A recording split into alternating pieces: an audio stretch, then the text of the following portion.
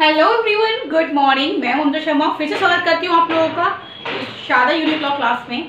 शादा unique law class में जो आज का आपका नया टॉपिक होने वाला है, जो मैं आप लोगों के लिए लेकर आई हूँ, वो है Indian penal code 1860 Indian penal code 1860 जिसे आप हिंदी में ट्रांसलेट अगर करें तो कहेंगे दंड दंड संहिता क्या? भारतीय दंड संहिता अठारह सौ साठ।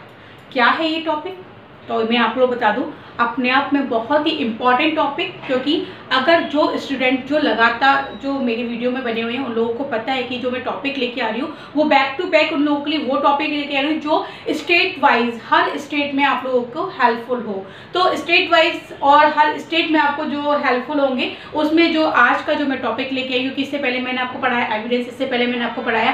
ट्रांसफ़र प्रॉपर्टी एक्ट मैंने ट्रस्ट एक्ट आप लोगों को पढ़ाया, मैंने कॉन्ट्रैक्ट एक्ट आप लोगों को पढ़ाया। और रिलेटेड टू राजस्थान के जो लोकल एक्ट थे, वो मैंने आप लोगों को कंप्लीट कराए थे। तो आज जो मैं आप लोगों के लिए लेके आई हूँ, भारतीय दंड संहिता अठारह साठ, क्योंकि देखिए, जो लॉ के स्टूडेंट हैं, जो अभी परसुइंग हैं, जो लॉ कर रहे हैं, उन लोगों के लिए तो इंपॉर्टेंट है ये। जो लोग जुडिशियल सर्विस की तैयारी कर रहे हैं, उन लोगों के लिए इंपॉर्टेंट है। साथ ही जो लोग एंट्रेंस एग्ज़ाम्स की तैयारी कर रहे हैं लाइक जो लोग कर रहे हैं क्लैट की तैयारी करना चाह रहे हैं, जो लोग आगे अब लॉ की फ़ील्ड में जाना चाह रहे हैं। उन लोगों के लिए भी मैं यही कहूँगी, ये जो टॉपिक है आज का अठारह साठ, यानी कि इंडियन पिनल कोड 1860 ये अपने आप में बहुत महत्वपूर्ण है। हर उसमें देखा जाएगा, जैसे नेट टेन टेट टेन आप जो भी देंगे, अगर आप लॉ से रिलेटेड हैं तो आपको ये पढ़ना ही पड़ेगा। तो चलिए, शुरू कर दें आज का अपना टॉपिक तो टॉपिक जैसा मैंने आपको बताया कि इंडियन पिनल कोड एटीन ये Indian penal code what is India India is a जैसा कि आप लोग पढ़ते हो हमेशा कॉन्स्टिट्यूशन का आपने पढ़ा हुआ है इंडिया क्या है? भारत भारत वो राज्य राज्य क्षेत्र है, जिसमें सारे स्टेट कवर होते हैं। तो ये है हमारा, इसको ट्रांसलेट करा जाएगा तो क्या होगा ये ये हमारा भारत। अब पिनल पिनल का मतलब होता है दंड देना या दंड।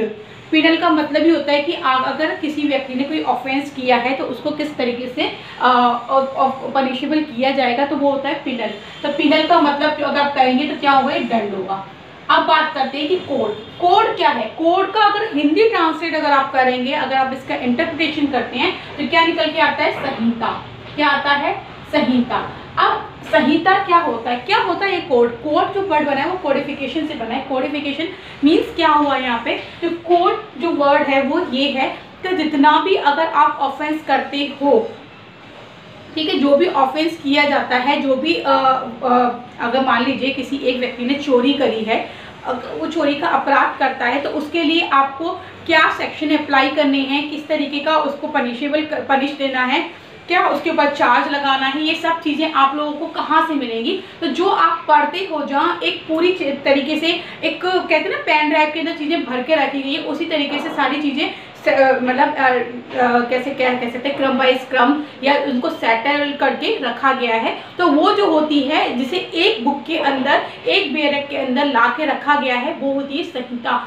यहाँ से हमें पता चलेगा कि कौन सा ऑफेंस किया गया है। अगर मान लीजिए किसी ने दंड किसी ने लूट का ऑफेंस किया है, किसी ने आपराधिक अभित्रास का ऑफेंस किया है, या किसी ने कुछ रॉबरी की है, या किसी ने डकॉइटी की है, किसी ने कोई भी ऑफेंस किया है तो इसमें जो पनिशमेंट होगा, वो कहाँ होगा, कैसा होगा, किस धारा में होगा, ये सारी चीज़ें जो हम पढ़ते हैं, वो होती है संहिता। देखिए, संहिता वाला वर्ड जो आपके पास आएगा, वो दो जगह आएगा, एक आएगा क्रिमिनल में और एक आएगा सिविल में। क्रिमिनल में हम जब पढ़ते तो पढ़ते इंडियन पिनल कोड जब हम, जहाँ हमने कोड पढ़ लिए तो आप मान जाए, आप वहाँ पे ये समझ जाइए कोड वर्ड का मतलब है कि कोई एक चीज़ जहाँ पे क्रमबद्ध रूप से रखी गई है कि अगर आपने इंडिया के अंदर ये ऑफेंस किया है तो इसकी धारा ये लगेगी और वो धारा जो लग रही है, मान लीजिए आपने चोरी का अपराध किया तो तीन सौ अठहत्तर के अंदर आपको क्या किया जाएगा? पनिशेबल किया जाएगा। 370 377 378 के अंदर आपको पनिशेबल किया जाएगा। तो ये चीज़ें जो लिखी हुई है सेक्शन 373 में 378 में लिखी हुई हैं। जब वो चीज़ें 378 के अंदर लिखी हुई हैं तो ये आपको कैसे पता चलेंगी? तो इसको बताने के लिए इन्होंने पूरा क्या किया, जो कोड बनाया कि इस कोड के अंदर आपको सारे जो ऑफेंस जो आप क्रिमिनल क्रिमिनल नेचर के जो भी ऑफेंस करते हो तो उसके लिए क्या पनिशमेंट होगा, क्या होगा, वो सारी चीज़ें यहाँ पे रखी गई। इसी तरीके से मैंने आपको बताया ना, दो जगह आपको मिलता है मेनली क्रिमिनल में और सिविल में।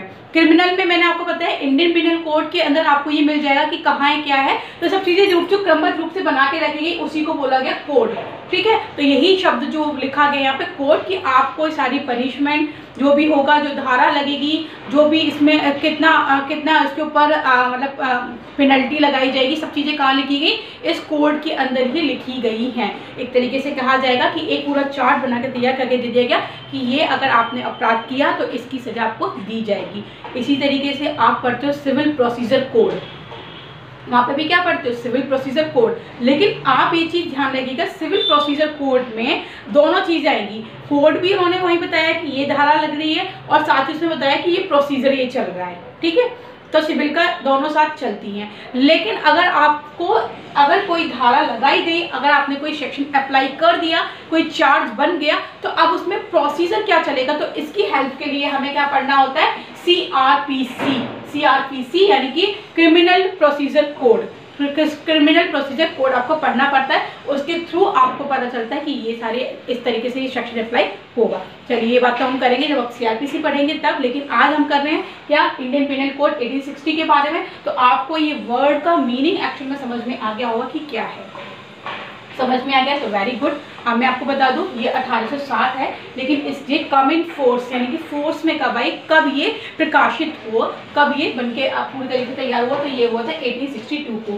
फ़र्स्ट जैन 1862 को ये पूरी तरीके से बन के प्रकाशित हुआ कम इन फोर्स आया। ये क्वेश्चन अपने आप में इंपॉर्टेंट है prelims exam point of view से। किसी भी स्टेट में ये क्वेश्चन ज़रूर पूछा गया है, आप चाहे कोई भी क्वेश्चन पेपर उठा कर देखिएगा।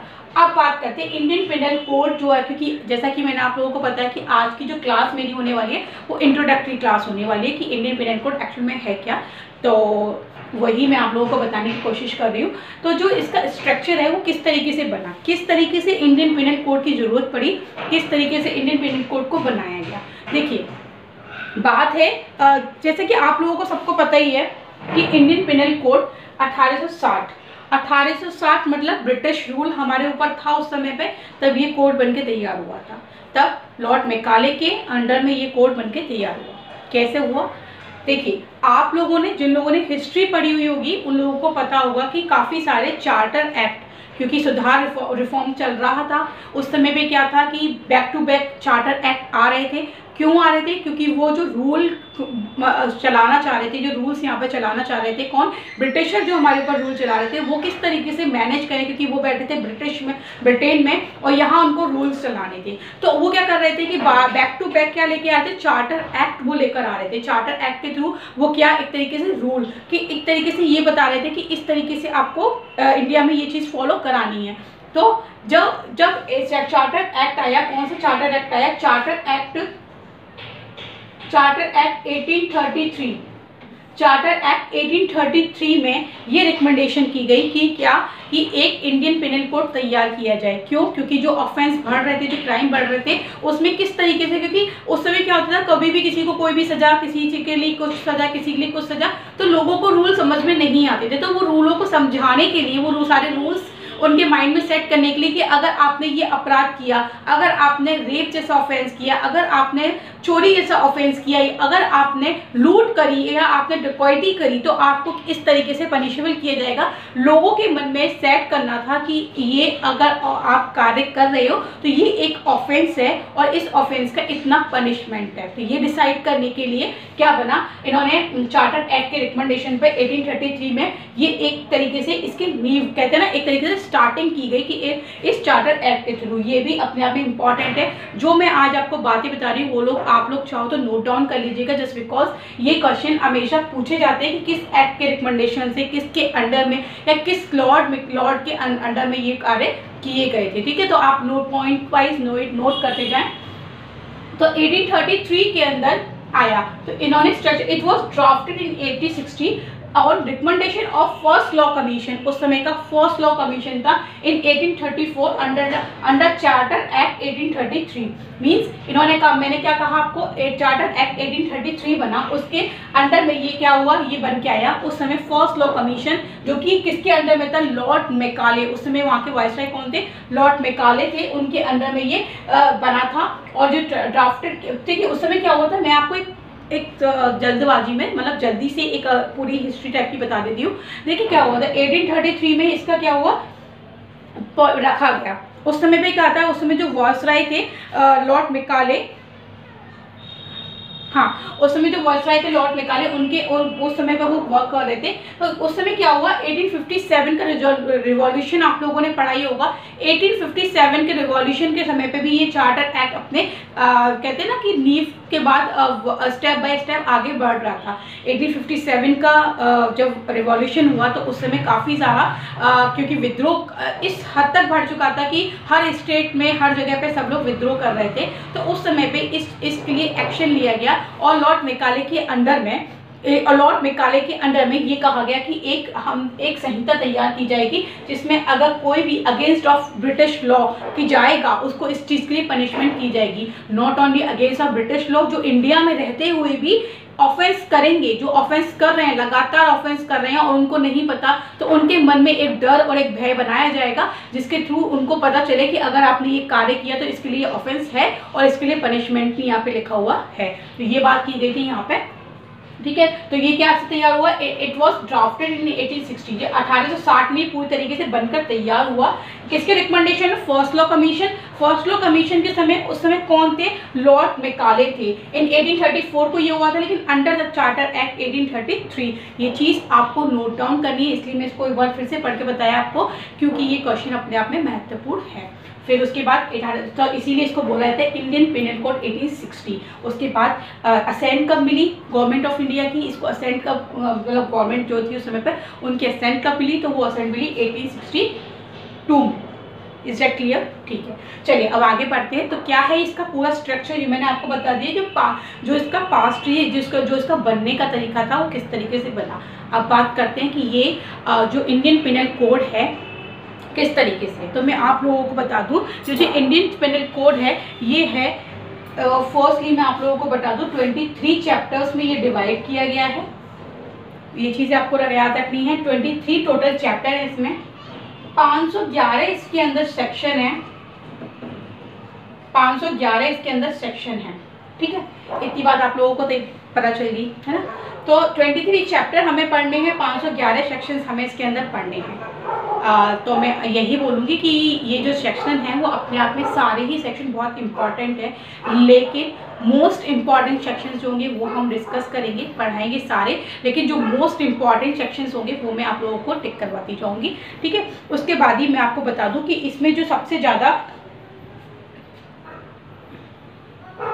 अच्छा एक क्वेश्चन इसमें ये आता है कि आ, मैंने अभी लास्ट टू लास्ट एपीओ का एग्ज़ाम जब यूपी एपीओ का एग्ज़ाम देखा था एग्ज़ाम पेपर मैं ऐसे चेक कर रही थी तो मैंने देखा था। तो वहाँ एक क्वेश्चन पूछा हुआ था which is the largest chapter of IPC means कि सबसे बड़ा चैप्टर आईपीसी के अंदर कौन सा है? तो मैं आप लोगों को बता दूँ, वो चैप्टर है चैप्टर नंबर सेवनटीन और स्मॉलेस्ट चैप्टर कौन सा होगा? स्मॉलेस्ट चैप्टर इसमें कौन सा है? Chapter twenty three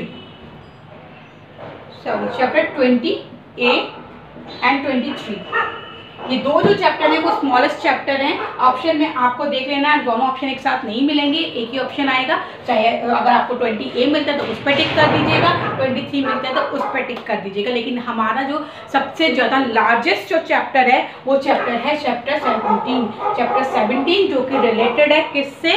प्रॉपर्टी से। ठीक है? किस रिलेटेड है प्रॉपर्टी के मैटर से रिलेटेड है। चैप्टर 16 और चैप्टर 17 ये क्वेश्चन भी पूछा गया है। जब बात कर रहे हैं इस चीज़ की तो मैं इस चीज़ को भी क्लियर कर दूँ। चैप्टर 16 के बारे में भी पूछा गया है कि बॉडी से रिलेटेड जो ह्यूमन बॉडी से रिलेटेड जो ऑफेंसेस है, उसके बारे में कहाँ डिसाइड किए, कहाँ पे डिस्क्राइब किया हुआ है। तो वहाँ आपको बताना चैप्टर सिक्सटीन अगर पूछते हैं वहाँ पे प्रॉपर्टी के बारे में तो वहाँ आपको बताना चैप्टर सेवनटीन ठीक है? तो ये बात, ये आपको इतनी चीज़ें याद रखनी है, ये क्वेश्चन भी अपने आप में इंपॉर्टेंट है, क्योंकि आईपीसी है अपने आप में इंपॉर्टेंट सेक्शन है, और साथ में इसके साथ ही मैं आप लोगों को बता दूँ और जो छोटे छोटे एक्ट है, वो इससे ही रिलेटेड होकर चलते हैं। क्योंकि जहाँ वो एक्ट अप्लाई नहीं होते, वहाँ आईपीसी अप्लाई होती है। जहाँ वो एक्ट अप्लाई हो रहे हैं, वहाँ पर भी आईपीसी अप्लाई हो जाती है। It depend on the discretionary power of the court okay तो ये बात बताई गई है आईपीसी के अंदर इंडियन पिनल कोड 1860 के अंदर। तो ये थी आज की हमारी इंट्रोडक्टरी क्लास होपफुली आप लोगों को मेरे द्वारा दी गई ये कंटेंट आपको समझ में आ गए होंगे। तो कल से हम स्टार्ट करते हैं अपना टॉपिक जो कि चलेगा चैप्टर वाइज चैप्टर और करते हैं जो हमारे 511 सेक्शन हैं, उनको साथ में डिस्कस करेंगे। जो प्रॉब्लम होगी आप लोग मेरे से पूछ सकते हैं। तब तक के लिए हँसते रहिए, मुस्कुराते रहिए, प्यार बांटते रहिए।